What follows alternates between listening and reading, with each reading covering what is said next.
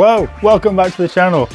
Welcome to an absolute beast of a new Veto bag, the Tech Pac Wheeler. I've been using this thing for the past couple of weeks. Not really packed out as much as I wanted to, but heavy enough for what I needed it for, a couple of different jobs and stuff, and the wheels really do make a difference. On the back, there are some shoulder straps. I'll spin it around in a sec. Well, spin it around now for you. There are some shoulder straps on the back, and we'll, I'll bring the camera in and show you that. There are uh, a couple of different other ways you can carry it. You can either just carry it by the handle itself, just like that. It's a bit of a telescopic handle for wheeling, so if you just slide that down, you can just carry it like that.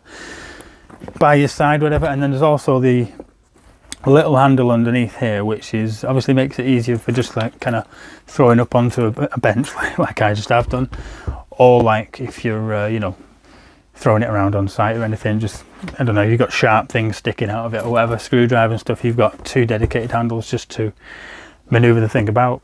I'll bring the camera in a little bit closer we'll unzip it all and see what's inside. Now on the front it's pretty much exactly the same as the tech pac thing over there on the shelf. Uh, front pocket as per usual they're just quite quite quite deep quite wide. Um, I use it for the super rod cable tongue for me. Up here similar pockets again. You've got the velcro on the top and you've got a bit of stretchy stuff there for various bits and pieces you want to shove in there. I mean you can see by the size of my hand what's going to fit inside there. Again cables charge cables charge cords that kind of thing that's perfect for that because you're just going to zip it up grab and go maybe even a torch. Inside we've got a slightly different setup to the usual tech pac the front part, the zip, the bit that zips off at the front, that's pretty much the same kind of style, same, same layout. We've got the magnet here and the, the kind of plastic mesh pocket on the top there. Obviously we've got the birth certificates and some stickers and stuff. Um, I've just clipped these off before and shoved it back in. And in here you can see it's showing you uh, the various different add-ons and bits and pieces and all about it and stuff like that. I've got some panels to show you later as well that clip inside five year warranty, zero downtime. Now they are talking on this piece here, they're talking about how to carry the thing. Because if you're hauling it up and down sites or with rope or anything like that, a hoist strap, it comes, well, you can buy an optional hoist strap that goes on the side here, these little, a lot little at all, big D-rings on the side. Um, and that's just all that's talking about, basically just don't carry the bag with this inside the main part here, the main hangar if you like, is they've got the V-swap system going on, which we've seen before in other models of Veto bags, which basically means it's completely customizable, so you can just Velcro out anything you like. These pockets, I'll spin it around here, you can see the what, what you get there. I, can you see that? You've got the usual silica gel. I actually leave a few in there, helps it stay nice and dry and stuff, but you can see down in there, nice big deep pockets it's kind of that that um, neoprene wetsuit type material in there, and then you've got these ones on top here. These ones are a lot more sturdy. Like all this, all this is completely customizable. completely comes out like that. There you can see the kind of style of pockets you are in it. So you can probably, you could fill that out with whatever tools you want and then go hook it up somewhere wherever you're working. It's the same for the back here. It's the exact same. All these.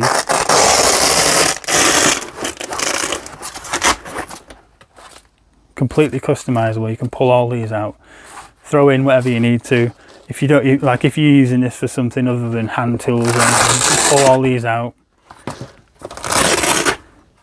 And even, even, this will pull out. That's how customizable it is. All that will pull out and you can put a different back in there or have no back whatsoever. I'll just quick show you how they all pop back in relatively easy. It's only velcro holding everything in. There you go, straight back in like that. You can see it's just nice and straight, vertical as it should be. These pockets, like I said, pretty much, oh I've got another gel thing in the silica gel. Obviously we've got the the uh, if I wheel it back a little bit you've got the the clip on here where does that go up there I think that's obviously that acts as like a a little table of some kind. You can just throw a few bits and pieces, throw demonstration really, yeah, throw a couple of bits and pieces on there just to kind of work away. Uh, use it as a bit of a bench, that's certainly what I've done before. Uh, that's the front, I'm going to spin the thing around now, we'll have a look at the back and these shoulder straps. On the way around the back you can see there's some more pockets here for various bits and pieces, like usually a torch or a flashlight or something. Those big D-rings I was talking to you about, there's an actual picture there, can you see? There's an actual image saying that's where you hoist it from. So yeah, obviously they don't want you to hoist it up from the handle or anything like that, especially with the amount of weight this would be, uh, which you, if you once you've filled it all out with your tools. The usual belt loop we're used to seeing with Veto products now, there's one of these hooked up on the side, hanging off a smaller D-ring. Spin it right round again, and it's exact same type thing. We've got a big pocket there, two there for pens, pencils, and stuff like that. Let's just shove one. Demonstration reasons, just show you where it is. And obviously there's the usual tape measure clip.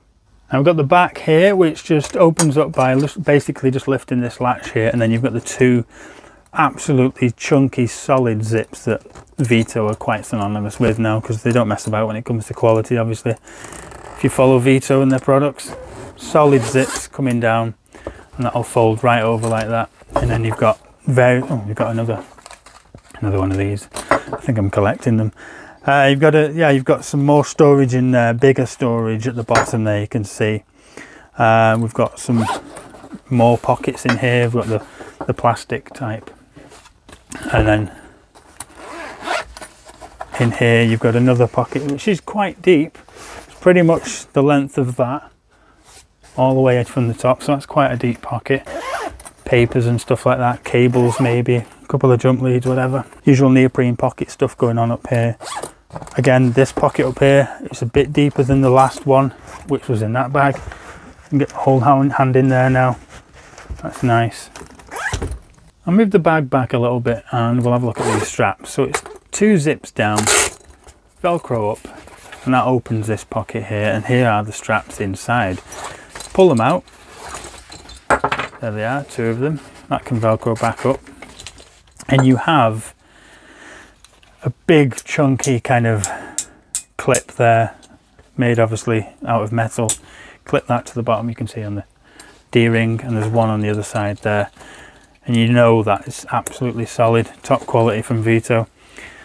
And there's your shoulder straps. There is actually in here which I've not really I've not used really and I've not kind of clipped up but you've got your it goes across there not that one this one goes across there you can see it's like it's like your chest goes across your chest there so obviously a bit of extra kind of security when you're hauling this thing around and it probably holds onto you keeps it held onto your body a bit better as well. Weight of the thing. Uh, there's the straps. Pretty solid, pretty, um, yeah, top quality stuff.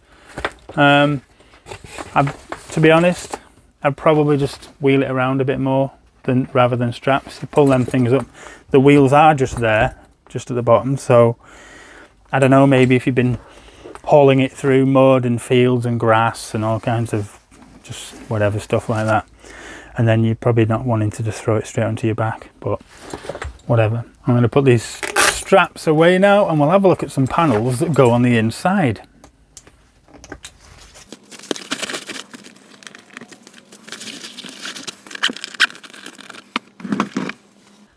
The first panel I have to show you is this bulk storage panel. So it's, it's pretty basic. It's got like a flat kind of plasticky feel to it. It's like quite robust. A couple of D-rings at the top here. It's full of full of bits and pieces. I just dropped it on the shed floor so it's gathered up all kinds of stuff. But the base here folds up so you've got a kind of, you know, like a base basically. And on the back you've got some Velcro to hold it in. So this back piece here all comes out in one. Give a quick pull of one of these D-rings. A lot of Velcro tearing. And it's just a case of popping that in there like so. And then that's it. In there like that. So that's your bulk storage basically put the velcro back on there. That's your bulk storage back in case you don't you're not having any screwdrivers or anything like that. So are you carrying a cordless drill That's going to fit straight in there. Maybe you want to carry two cordless drills. I don't know if it is it going to fit. Yeah, so bulk storage. Obviously, it's, it's a bit of protection for anything else that's going on in there. You've got your DeWalt laser level. Fit straight in there, no problem. That'll zip up. You can probably even squeeze that over and get the cordless drill in there as well. If you do have more bulkier tools, this is perfect. You know, so you've got your hammers, your drills, your multi-tools, whatever else. Great for the, you know, obviously for the back, that back panel is great for that because it's not going to interfere too much once you've zipped it up. Imagine you had that in there. There's just no way you're going to be fitting these kind of things in there. So keep this for all like your hand tools type thing. Um, I'm going to zip this one up and we'll spin the thing round and have a look at the next panel. I'll just put this last panel in here and you can see that it's based this one on more like computers, laptops, tablets, iPads, that kind of stuff. So I've got a 12 year old laptop there, fits, fits in there, no problem whatsoever. I've got an iPad that'll fit in the front pocket there. And there's even a bit of room down at the bottom there, if you can even see it, where, right where my hand's gonna go. Room for chargers, charge cables and cords and various bits and pieces that you'd need with all this kind of equipment. Shove that back on there, zip this up, zip this up. We're good to go. I've removed the two panels just to have a look at what's going on inside at the bottom and Veto, typical, they haven't missed a trick. They haven't missed a nut, a screw, a washer, a rivet, a bolt or anything down here. Quality continues.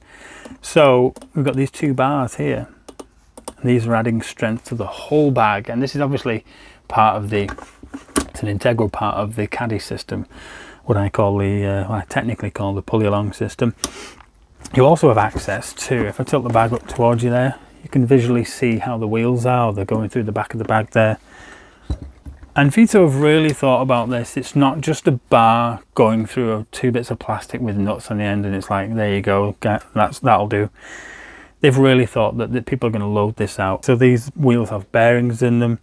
They're not just plastic. They're kind of like a, a very, very, very tough rubber, you know, so it'll give a little bit if it gets dropped or kind of dragged along concrete and stuff. Um, yeah, what I intend to do now, I'm going to fill it, put the panels back in, fill it with tools, I'll throw it on the scales and see what it weighs. And there it is. So these are the tools I usually carry in the TP XXL, which is just hanging about over here. And so this is like my daily carry, if you like. So various pliers and grips and stuff like that, cutters. You can see torch, screwdrivers and stuff, lock-offs, kits and all of it. And that's obviously because I'm an electrician. You could fill it with whatever you liked. I'm just giving you an example of what I use it for. We got on the side here some scissors, volt stick, tape measure, and obviously the Tool Check Plus sits lovely in there, although mine's missing a few bits and pieces now. On the back, it's not too rammed. You can see we've got the voltage indicator, we've got a little uh, earth leakage tester there, hammer, socket tester here on the side, the old uh, bits box that I can't live without to be honest, fits perfectly in there. We've got some pens, markers, that kind of stuff, a mirror and all the rest of it. Like I say, I've not fully loaded it out, but it's roughly there or thereabouts as to what I would um, what I would drag on a job and expect to use daily. Now let's weigh it.